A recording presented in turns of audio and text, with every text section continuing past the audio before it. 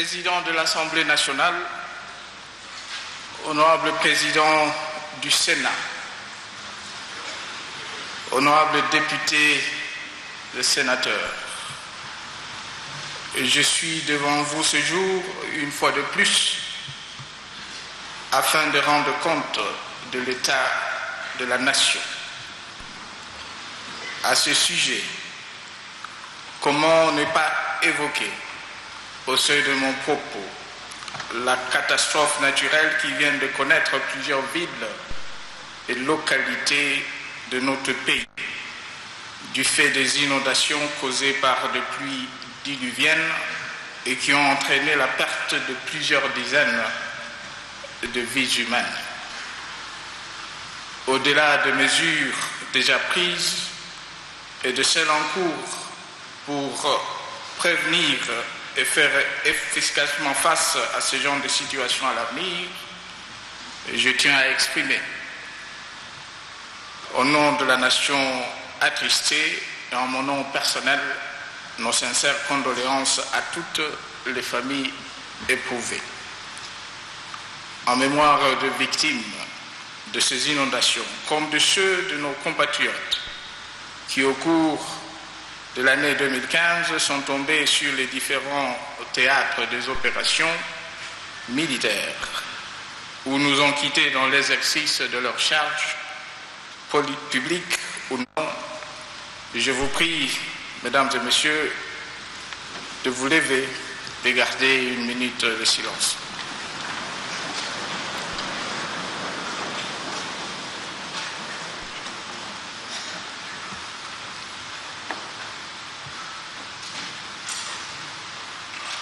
Merci.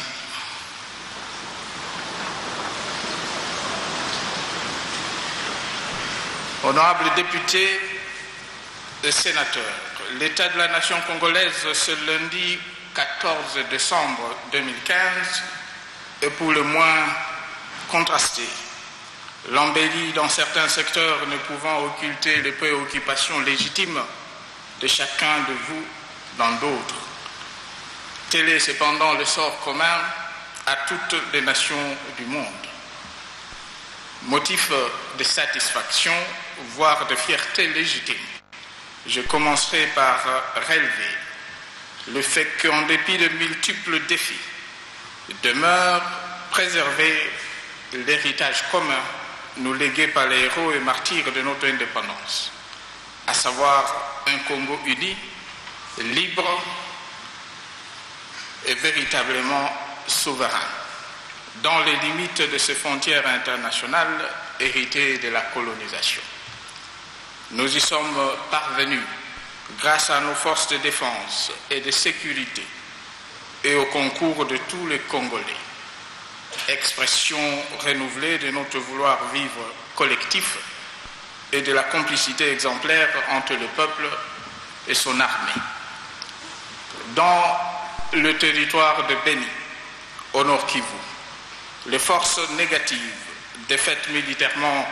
il y a une année par nos vaillants forces armées sont passés de la guerre conventionnelle à des actes terroristes ciblés auxquels nos forces de défense et de sécurité s'emploient à mettre fin avec le concours actif et précieux de nos populations. La situation dans les zones frontalières du Nord Kivu et du sud Kivu fait également l'objet d'une attention particulière de nos forces de sécurité en raison du flux de réfugiés en provenance du Burundi. La même approche prudentielle et préventive est de mise dans les localités frontalières avec la République centrafricaine pays où nous avons été amenés à dépêcher une unité de nos forces armées afin de contribuer sous l'égide des Nations Unies à la normalisation de la situation politique et sécuritaire. Nous félicitons ici tous les éléments de cette unité dont l'efficacité opérationnelle reconnu de tous au niveau de la communauté internationale inspire estime et considération. Fidèle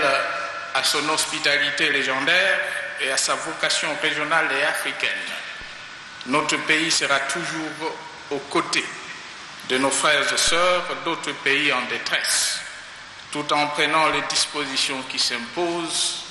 pour prévenir toute atteinte à sa propre sécurité et à celle de ses habitants. C'est dans cet esprit que s'inscrit la mise en service d'un système d'identification et de repérage des passagers qui est déjà opérationnel au niveau de 13 postes frontaliers sur les 33 prévus à l'horizon 2017. Ce système prenne une information centralisée de contrôle permet une information centralisée de contrôle des passagers et de documents de voyage, ainsi qu'une gestion saine et efficace des données migratoires. En définitive, l'ensemble du territoire national est aujourd'hui sous le contrôle du gouvernement de la République et le sera chaque jour davantage en dépit de quelques poches de résistance résiduelles de forces négatives en voie d'éradication par nos forces armées et de police. Honorables députés, honorables sénateurs, au plan économique,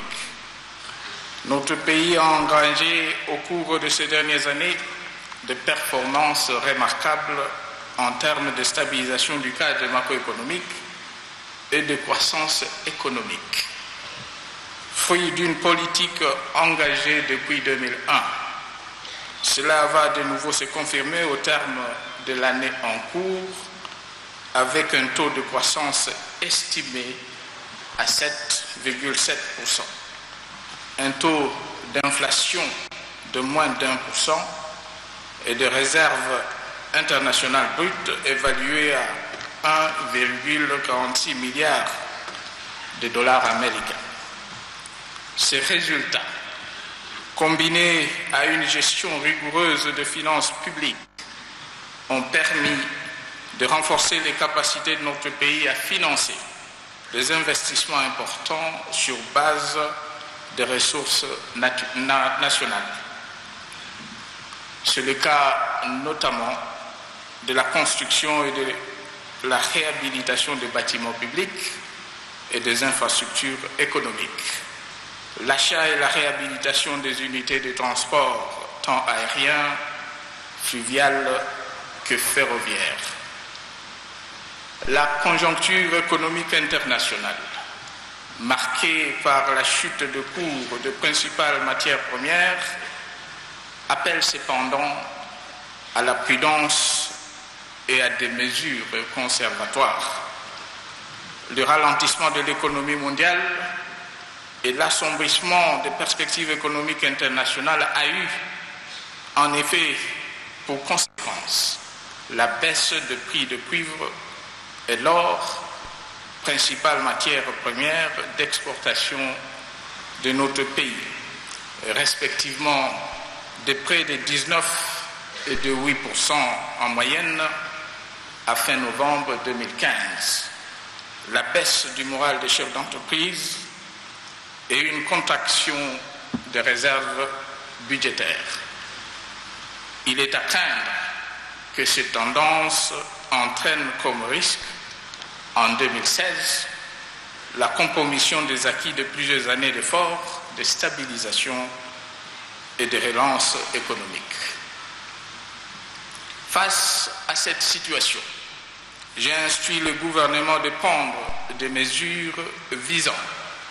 d'une part, à stabiliser la situation et d'autre part, à améliorer la résilience de notre économie et à permettre une croissance soutenue de cette dernière grâce à une politique de diversification économique et d'industrialisation qui accorde une meilleure place au secteur porteur, dont l'agriculture, et qui privilégie les zones économiques spéciales comme stratégie de mise en œuvre. La réhabilitation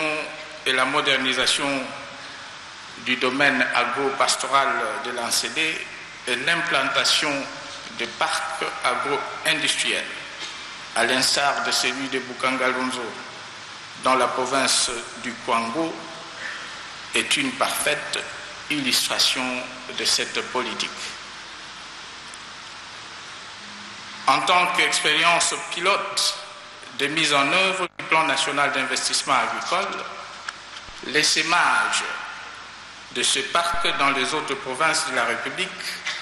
sera accéléré dès le début de l'an 2016 et concernera prioritairement les 11 sites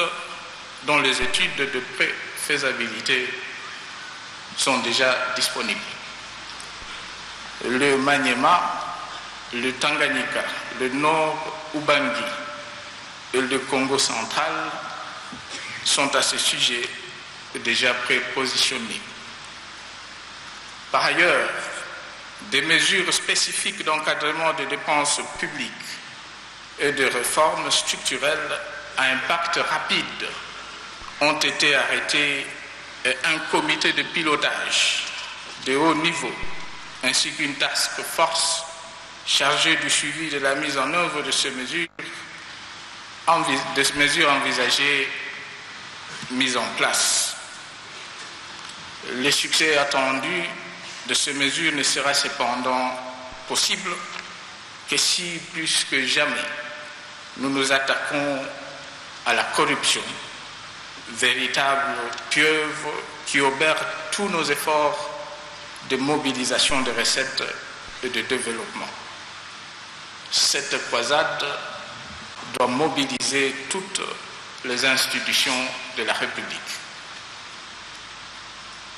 Honorables députés et sénateurs,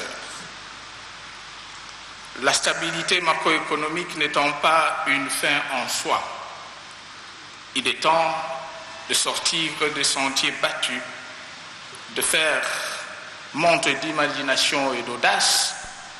de quitter le statu quo et d'aller vers le développement. Ce qui passe par un appui soutenu à l'investissement public productif, par la poursuite de l'amélioration du climat des affaires, afin de stimuler l'investissement national et attirer plus d'investissements directs étrangers et par l'exploration de sources nouvelles et innovantes de financement extérieur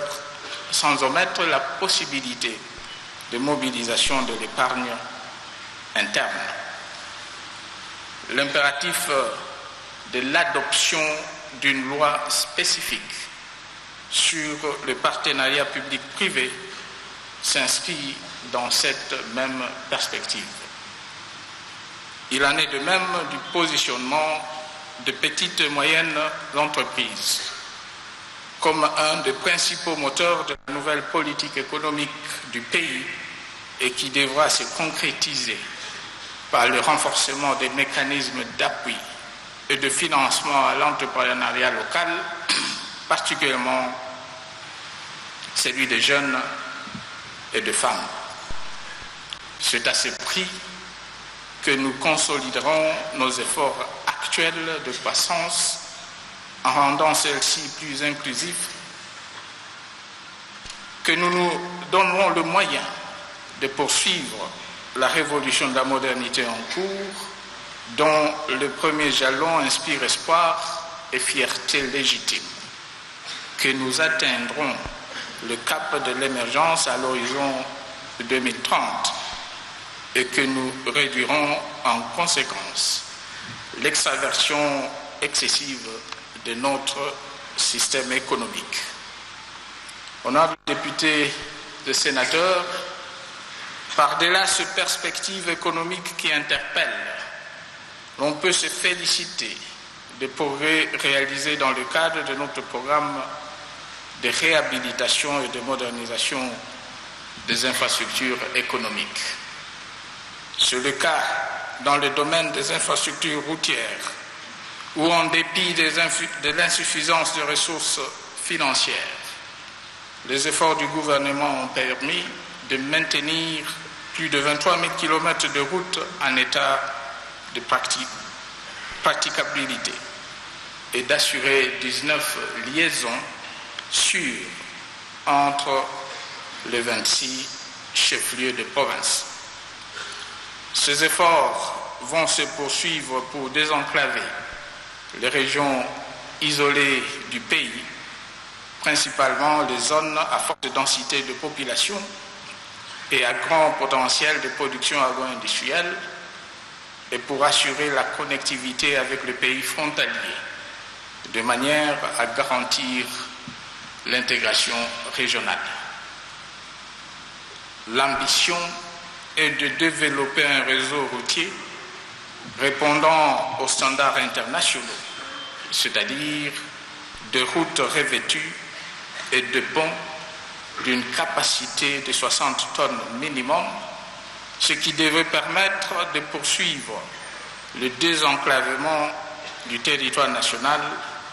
et d'encourager la complémentarité multimodale, route, rail, voie hydraulique, tout en respectant des normes environnementales conformes aux exigences du développement durable. Au premier semestre 2016, le gouvernement va ainsi finaliser un programme routier qui, avec l'appui de partenaires, permettra d'entretenir environ 2400 km de routes déjà livrés dans le cadre des accords de financement précédents et de réhabiliter environ 800 km de routes sur les axes Akula, Gemena et Libenge, Boyabo Zongo, Kassindi, Beni Komanda, Bunia Mahagi et Goma jusqu'à Kavumu. Dans le cadre de l'aménagement en cours de la nationale numéro 1,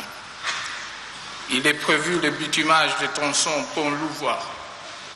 Chikapa et Chikapa Kamwesha, avec aménagement de voies secondaires et quelques infrastructures connexes, écoles,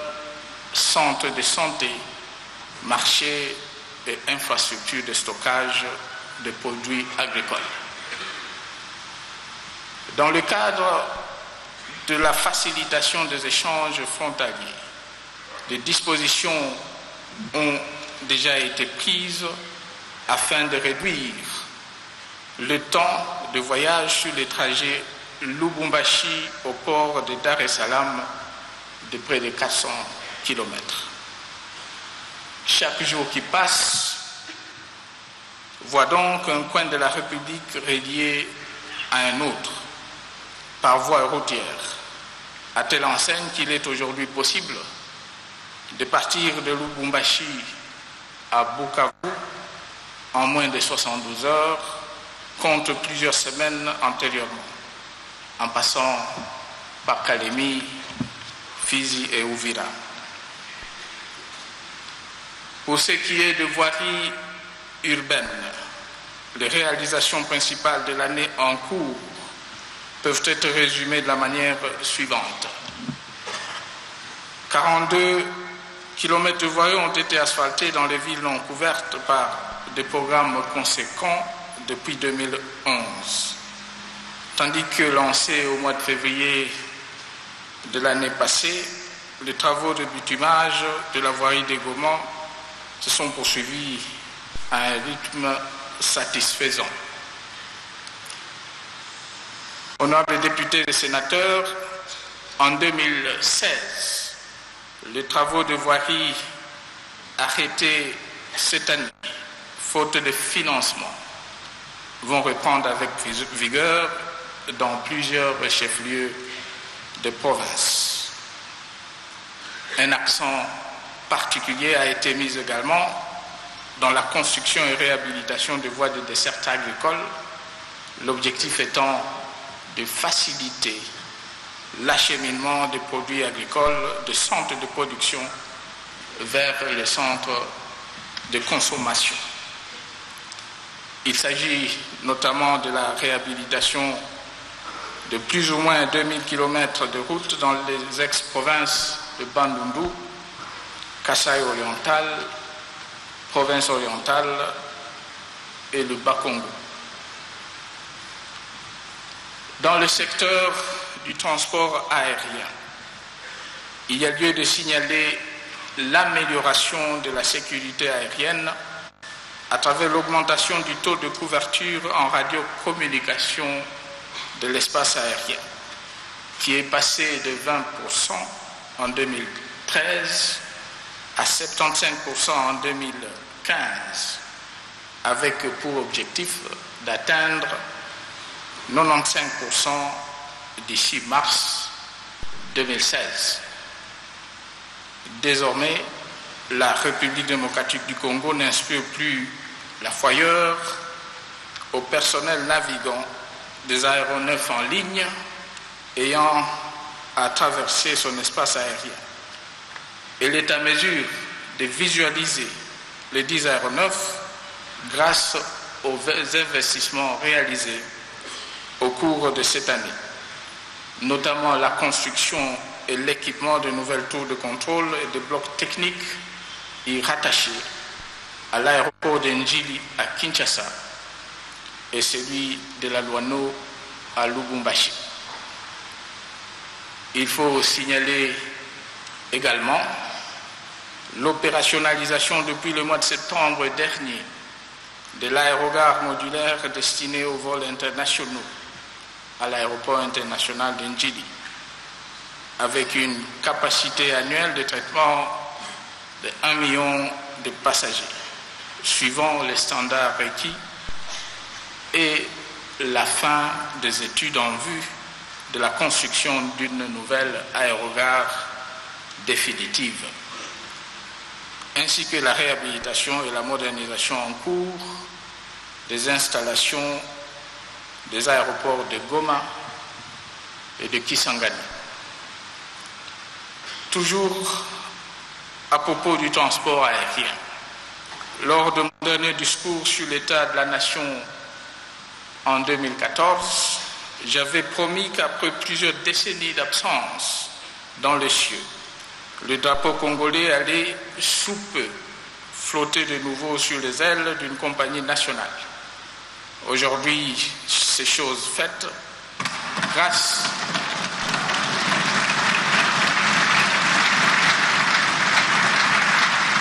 Aujourd'hui,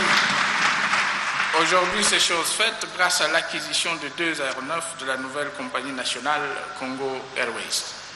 Le démarrage de vols commerciaux de ce nouveau né de l'aviation congolaise est intervenu au mois d'octobre de cette année, entraînant non seulement l'augmentation sensible de la capacité de desserte en transport aérien, mais aussi la réduction de la pression tarifaire de plus de 50%. Honorables députés, honorables sénateurs, l'effort d'investissement et d'amélioration des conditions de transport aérien vont se poursuivre avec l'acquisition projetée en 2016 de 2 à 4 aéronefs. Dans le secteur du transport fluvial, la réhabilitation de l'unité flottante ITB Kokolo a permis de relancer le trafic de personnes et de marchandises sur le fleuve Congo depuis le mois de septembre de cette année et de réduire de 28 à 17 jours la durée du voyage ainsi que la pénibilité de celui-ci sur le tronçon Kinshasa-Kisangani. Seul du bateau MS Gungu en phase de finition fera de même sur les affluents du fleuve à partir de l'année 2016. Dans le secteur du transport ferroviaire. L'année a été marquée par l'acquisition en faveur de la Société nationale des chemins de fer de 38 locomotives neuves, dont 12 sont déjà opérationnelles depuis le mois de septembre. Ainsi, les temps de parcours sur le tronçon Lubumbashi-Kindu, Lubumbashi-Kalemi et Lubumbashi-Mweneditu s'en trouvent sensiblement réduits. Sur l'axe Matadi-Kinshasa,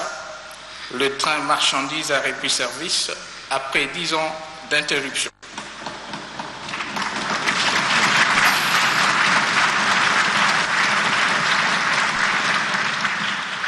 Tandis que de voitures à passagers modernes viennent d'être commandées, tant pour cet axe que pour le réseau SNCC. Dans le secteur de poste, télécommunications et nouvelles technologies de l'information et de communication, le déploiement du réseau backbone à fibre optique se poursuivit avec la phase Kinshasa-Kasumbalesa vers Lubumbashi, soit sur une distance de 3300 km. L'inauguration de cette phase aura lieu incessamment et permettra de relier notre pays à la Zambie. Notre vision à moyen terme de couvrir environ 30 millions de lignes fixes ou mobiles d'ici 2016 est donc réalisable. Par ailleurs, l'informatisation de l'administration publique, des services spécialisés et des postes frontaliers, l'amélioration de la gouvernance et de la concurrence électronique, la régulation des marchés, la réforme du cadre légal, le passage de la télévision analogique à la télévision numérique ont été, ont aussi connu des développements considérables. Bien plus, au moment où le processus de décentralisation connaît une accélération, il était impératif que le secteur de poste soit considéré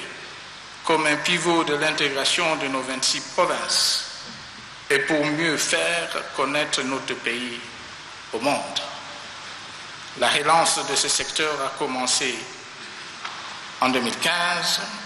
et se poursuivra au courant de l'an 2016.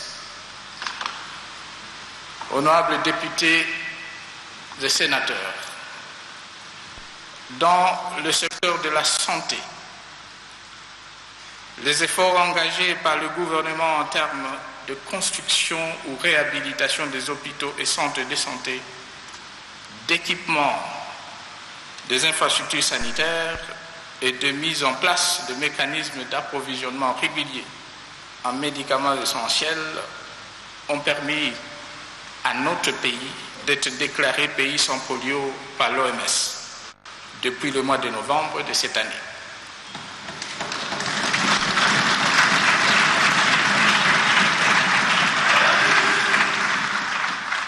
Ils ont aussi également permis l'accélération de la réduction de la mortalité de la mère et de l'enfant. La mortalité infanto-juvénile est ainsi passée de 148 décès pour 1000 naissances vivantes en 2007 à 104 décès pour 1000 naissances, naissances vivantes en 2014 soit une réduction de près de 30%. Quant à la mortalité maternelle, son ratio est passé de 1200 décès pour 100 000 naissances en 2001 à 846 décès pour 100 000 naissances vivantes en 2014. Dans le domaine de l'enseignement, l'amélioration des conditions de scolarisation et d'apprentissage de nos enfants s'est poursuivi sans relâche. L'objectif ultime demeurant l'accroissement de l'accès à l'éducation sur fond de promotion de l'égalité,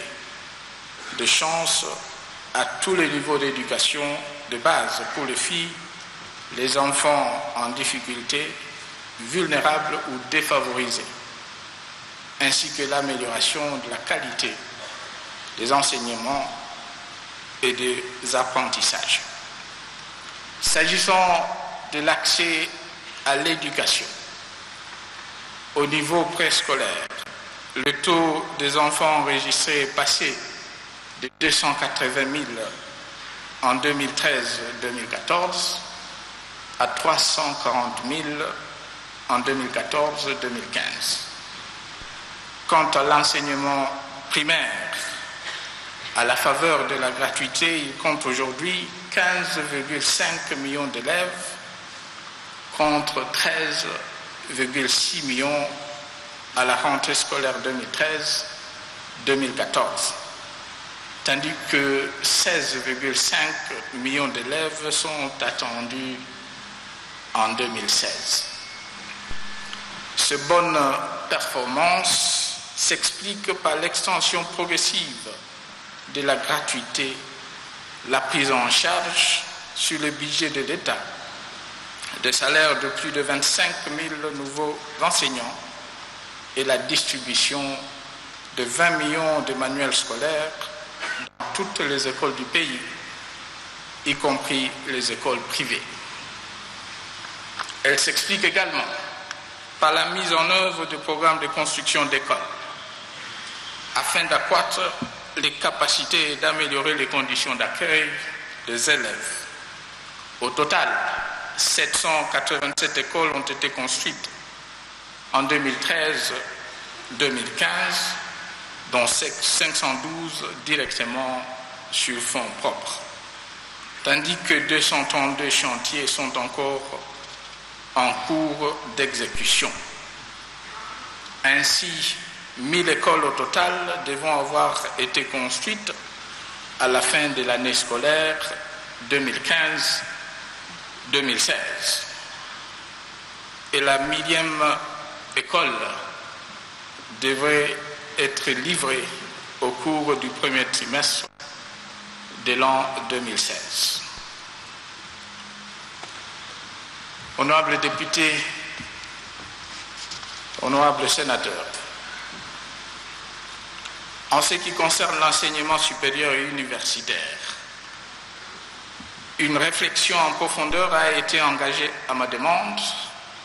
en vue de décider du type d'enseignement qui sied de mieux aux exigences de développement de notre pays. Un enseignement universitaire de masse mais fonctionnel ou un enseignement universitaire élitiste et général. Pour garantir une croissance économique significative et durable, l'émergence d'un entrepreneuriat national et la compétitivité internationale de notre pays, il est impératif que notre système d'enseignement universitaire et supérieur permette à nos jeunes d'acquérir des savoirs, de compétences et des aptitudes susceptibles d'aider à réduire la facture de l'inadéquation formation-emploi. Pour ce faire, la priorité sera accordée à l'éducation et à la formation professionnelle et technique, avec un accent particulier sur la promotion de la science, de la technologie et de l'innovation, facteur essentiel de la puissance économique de tout pays émergent.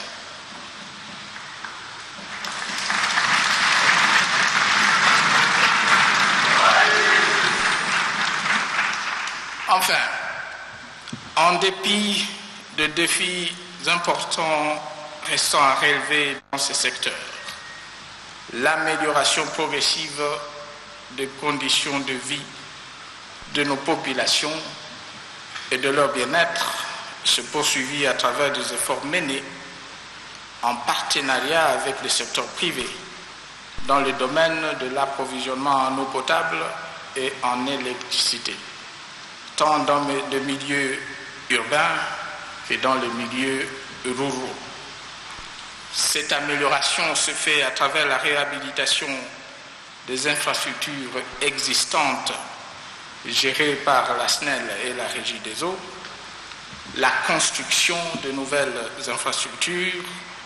la recherche de solutions palliatives, notamment solaires, et l'importation d'énergie. Elle passe aussi par la réforme et la libéralisation du secteur de l'électricité et la construction et l'exploitation de centrales à moyenne puissance. Le projet spécifique dans le secteur de l'électricité sont à court terme. La construction déjà achevée du barrage de 13,8 MW à Matebe, dans le territoire de Ruchuru, au nord Kivu, la réhabilitation en cours de centrales d'Inga, de Chopo ainsi que de Seke Nzilo, qui devrait porter le productible de 800 MW à 1300 MW à fin 2016. La construction largement engagée de centrales de Zongo 2, de Kakobola et Katende, qui ensemble devraient produire près de 230 MW d'ici fin 2017, améliorant ainsi la desserte en électricité des populations des anciennes provinces du Bandundu, du Kassai occidental, du Kassai oriental et de Kinshasa. À moyen terme, il y a lieu de mentionner la construction d'Inga 3, base chute, devant produire 4800 MW, dont 2300 MW sont destinés à la satisfaction de la demande intérieure. L'entrée en opération de ces différents ouvrages devrait améliorer le taux de desserte en électricité de notre pays, qui, quoique étant passé de 9 à 15% ces trois dernières années, reste encore faible par rapport à la moyenne africaine de 30% Dans le secteur de l'eau, les travaux achevés au cours de l'année 2015 sont ceux de la réhabilitation et de renforcement des installations d'alimentation en eau potable dans plusieurs villes, dont la ville de Chikapa, Beneditu, Ngandajika, Lisala, Bulungu, Mashimanimba et Matadi. Sont en cours d'achèvement et devraient être livrés d'ici fin décembre ou juste après les travaux de réhabilitation et de renforcement des installations en eau potable en Bujimai, à Kinshasa et à Lubumbashi. Le taux de desserte nationale en eau potable, aujourd'hui de 26%, contre une moyenne africaine de 60%, devrait s'en trouver nettement amélioré. Honorables députés, honorables sénateurs, au courant de cette année qui s'achève, le droit de la femme ont connu une avancée significative dans notre pays suite à la promulgation de la loi du 1er août 2015 portant modalité d'application des droits de la femme et de la parité. En exécution,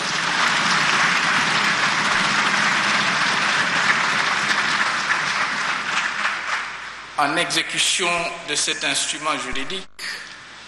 l'accès de la femme aux fonctions politiques s'est fortement amélioré avec la désignation de plus de 30% de femmes parmi les commissaires spéciaux du gouvernement.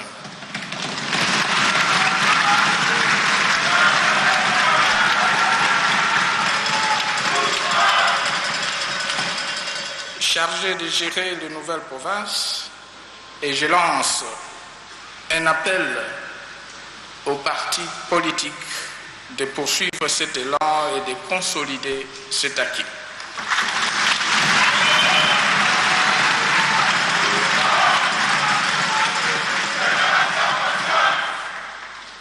Dans le même ordre d'idées, la protection de la femme contre les violences qui lui sont faites s'est poursuivie avec détermination au cours de l'année, grâce à l'intensification de la lutte contre les groupes armés, source matricielle des dits actes, et de celle contre l'impunité des auteurs de violences, plus que jamais, pour moi et pour toutes les institutions, une urgence et une priorité. Les résultats obtenus, soit un recul de 33% des cas de viol rapportés de 2013 à 2014, confortent la justesse de la décision que j'avais prise il y a un an de marquer résolument ma volonté de garantir la dignité de la femme congolaise par la nomination d'un représentant personnel chargé de la lutte contre les violences sexuelles et l'enrôlement des enfants. Ils sont aussi dus à l'action de tous les acteurs dans ce domaine, dont les ONG nationales ainsi que la justice, singulièrement la justice militaire, qui, de 2014 à ce jour, a condamné plus de 135 auteurs de viol sans considération de leur rang ou grade. Nous verrons à ce que ces résultats, qui sont aujourd'hui unanimement salués par tous, continuent sans cesse de s'améliorer jusqu'à ce que nous atteignions le seul objectif moralement acceptable, celui de zéro viol en République démocratique du Congo.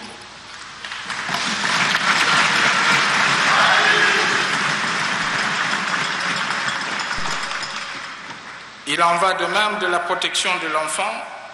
qui sera renforcée à travers notamment l'adoption prochaine d'une législation appelée à clarifier le mécanisme de l'adoption internationale dans notre pays et à éviter que, sous des motivations d'ordre humanitaire, ces derniers ne deviennent du fait des gens sans scrupules une plaque tournante du répréhensible trafic d'êtres humains, comme cela a parfois été le cas dans une époque récente. Nous obligeons d'ailleurs de décréter dans l'intérêt de nos enfants un moratoire sur les adoptions internationales.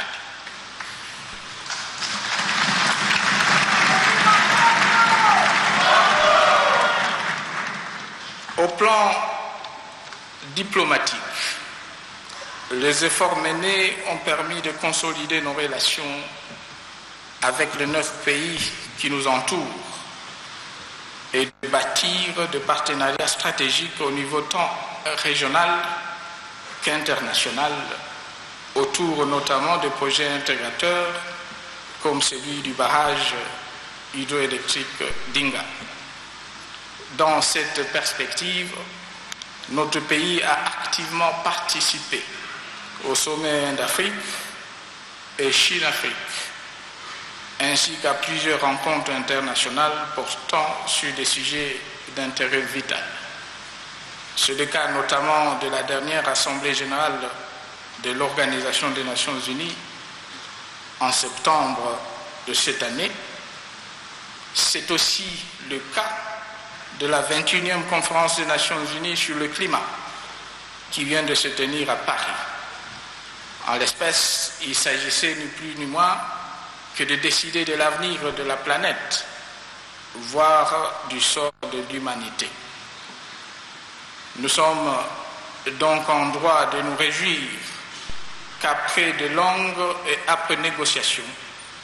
cette conférence ait abouti à l'adoption à l'unanimité d'un accord universel, ambitieux, différencié, durable et juridiquement contraignant, assorti d'objectifs précis et d'engagements financiers conséquents. Honorables députés, honorables sénateurs, s'agissant de la réforme de l'État, je rends un hommage mérité aux honorables députés et sénateurs qui, au cours de l'année qui s'achève, ont doté le pays de plusieurs, lois, de plusieurs lois ayant rendu possible la nouvelle organisation territoriale et l'installation de 21 nouvelles provinces.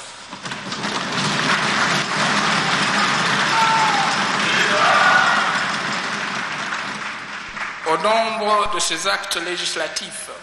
on peut citer la loi de programmation du 28 février 2015 déterminant les modalités d'installation de nouvelles provinces et la loi organique du mois de mars 2015 portant fixation de limites de provinces et celle de la ville de Kinshasa. La loi du 25 août 2015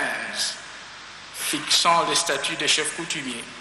suivi de la certification des entités coutumières, participe de même à l'approfondissement de notre processus de décentralisation.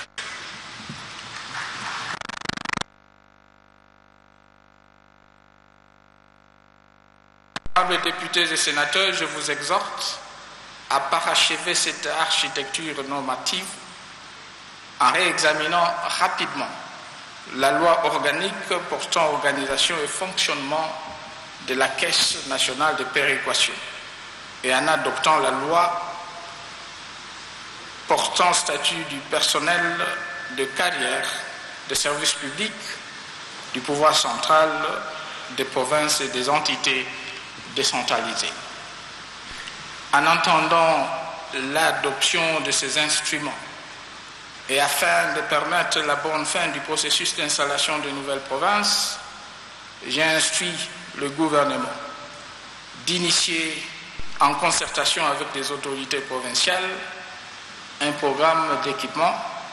de réhabilitation et de construction des infrastructures nécessaires au fonctionnement de nouvelles provinces.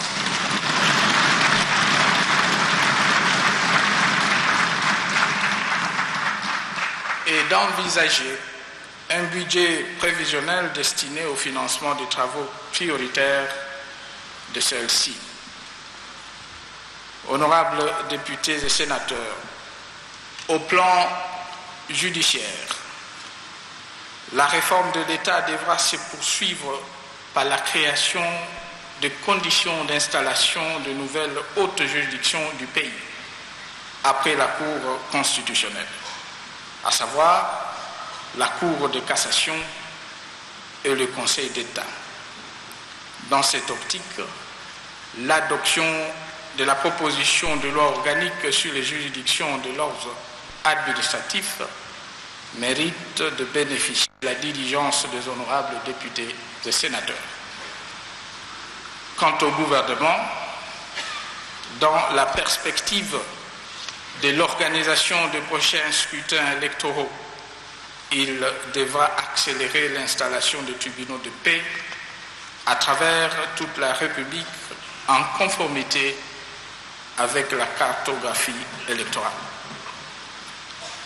C'est ici le lieu de rappeler que la distribution de la justice demeure préoccupante dans notre pays et que nos populations doutent de la capacité de notre appareil judiciaire à répondre adéquatement à leurs préoccupations. Face, face à cette triste réalité, le gouvernement a été instruit d'accélérer la mise en œuvre de recommandations issues des États généraux de la justice. En matière de protection des droits humains, l'adoption de lois modifiant et complétant le code pénal, le code de procédure pénale et le code judiciaire militaire en vue de la mise en œuvre du statut de Rome devra compter parmi les éléments clés de la stratégie nationale de lutte contre l'impunité des crimes graves. Un domaine qui appelle lui aussi des réformes profondes et urgentes est celui de la gestion, distribution et affectation des terres, afin notamment d'éradiquer ou à tout le moins réduire sensiblement les conflits fonciers. Cette réforme devrait être menée en prenant en compte les exigences de l'aménagement du territoire, de l'urbanisme et des secteurs de l'agriculture, forêt, environnement et mines. Elle implique aussi la modernisation des outils de gestion, un recours accru aux moyens électroniques ainsi que des sanctions sans appel à l'endroit des cadres et agents véreux et peu souciés des devoirs de leur charge. Honorables députés, honorables sénateurs, mesdames et messieurs,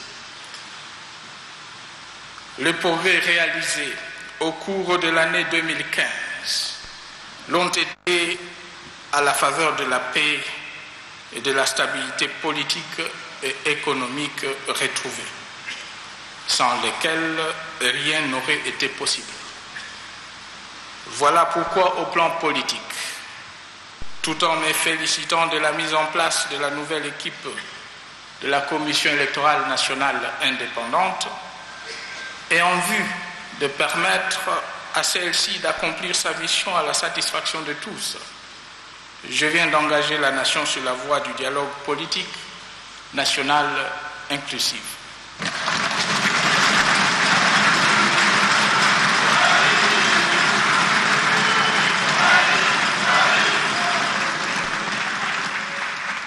La mise en place en cours du comité préparatoire est celle prochaine de la facilitation internationale. Permettront à brève échéance le démarrage effectif du dialogue, avec pour objectif de trouver des solutions consensuelles aux questions majeures qui minent le processus électoral, ouvrant ainsi la voie à des élections crédibles et apaisées. Une fois de plus,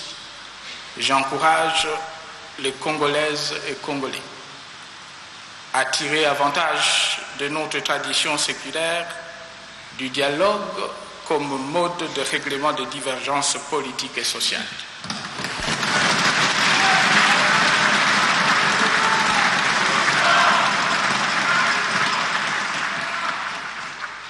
Ce n'est pas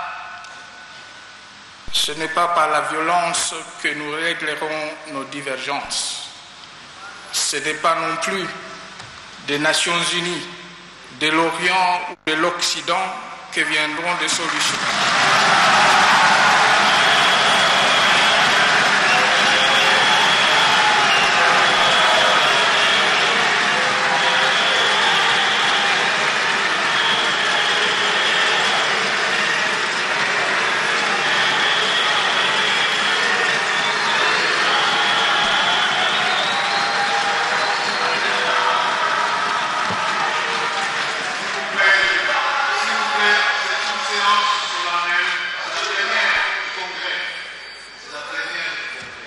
Je disais donc que ce n'est pas par la violence que nous réglerons nos divergences. Ce n'est pas non plus des Nations Unies, de l'Orient ou de l'Occident que viendront les solutions à nos problèmes, mais plutôt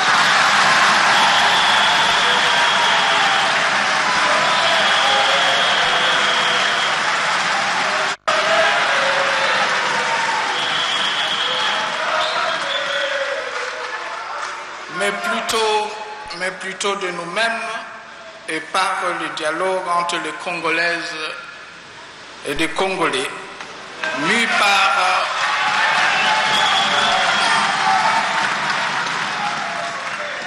par la fibre patriotique et inspiré par l'appel à l'autodétermination et à l'autoprise en charge, toujours d'actualité, de nos deux héros nationaux, Patrice Emery Lumumba et M. Laurent Désiré Kabila.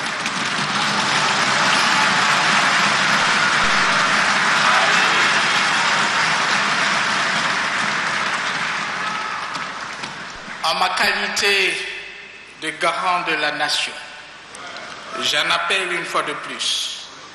au sens élevé de responsabilité de chacun et de tous, afin qu'au sortir du dialogue national, nous soyons plus unis qu'avant dans la mise en œuvre d'un processus électoral authentiquement congolais,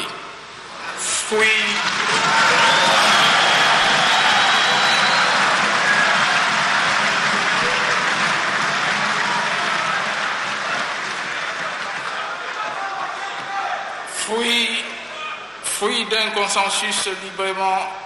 dégagé, avec pour objectif la consolidation de notre jeune démocratie et la préservation de la paix chèrement acquise, de la sécurité, de la stabilité et des progrès enregistrés sur la voie du développement de notre pays. J'aimerais à cet effet rassurer l'ensemble de notre peuple que je ne permettrai pas que le sacrifice consenti ensemble au cours des dernières années pour bâtir la paix et la sécurité dans notre pays et dans la région, balisant ainsi la voie vers l'émergence, soit compromis. Sous quelques prétextes que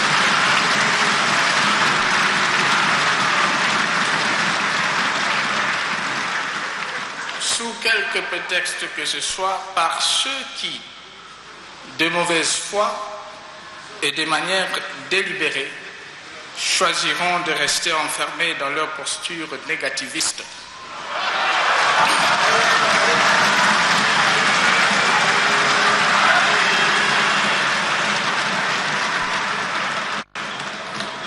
Dans leur posture négativiste, refusant le dialogue au profit de complots contre la République.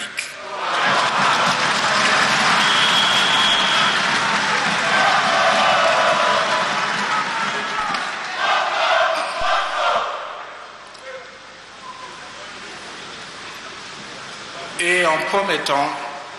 sang et sueur à notre peuple. Il n'y aura ni l'un ni l'autre.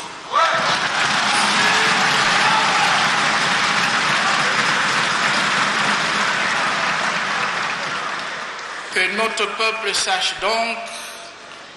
que ses intérêts et ses aspirations légitimes à la quiétude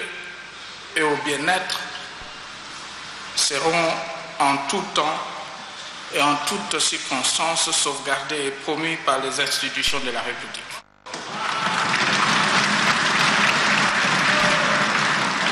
Là où il lui est promis la mort, nous l'assurons que tout sera mis en œuvre pour protéger la vie.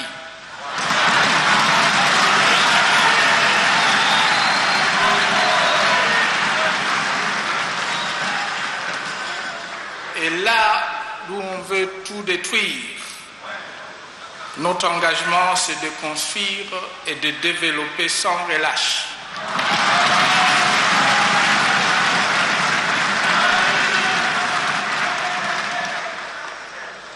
À notre peuple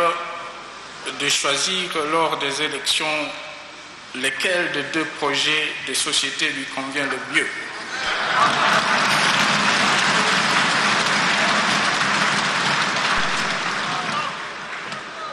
À ce sujet, je demeure une fois de plus persuadé que l'option à lever sur les modalités de vote prévues à l'article 47 de la loi électorale, à savoir soit le vote par bulletin à papier, soit le vote électronique, pourrait contribuer à réduire substantiellement le coût des opérations électorales.